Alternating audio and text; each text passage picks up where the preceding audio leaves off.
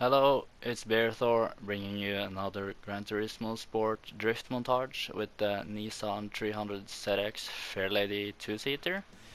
This car is a big boost car and with that I mean it has twin turbo and gives you freaking 788 horsepower. So learning how to drive this car can be challenging. It was for me, but it's really fun and can hold crazy amount of angle as you'll see in this montage. Also, really good news, I've joined a drift team called C2C, which have a lot of Scandinavian people and, and other awesome guys in it. I need to thank C2C Baddi for even letting me join. I didn't really enjoy playing the game so much, but playing with those guys made me enjoy the game a lot more again. And they're different, different and very technical with their drift skills, and oh my god, how many liveries they make every single day, which are really good. And for next time, let me know down in the comments uh, which car you guys want to see the next time for a montage or a tune video. You can kind of call it that. I'm not the best tuner, but like as you can see, I'm not the baddest guy, so I kind of know how to make some good cars. Try the uh, the tune out, but uh, anyways, guys. Uh, make sure to subscribe if you haven't been here before or you really enjoy the content I'm making and leave a like if you enjoyed this and I'll uh, see you next time. Enjoy the video guys. Have a good day.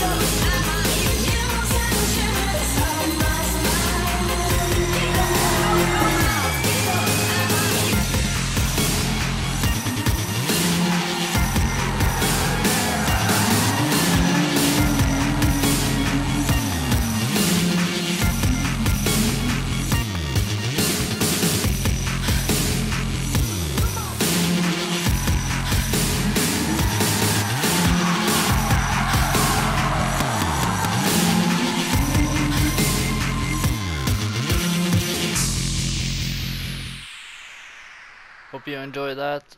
Make sure to drop a like and subscribe. And uh, here is the tune if you want to pause the video. And uh, I'll see you next time, guys. Peace out.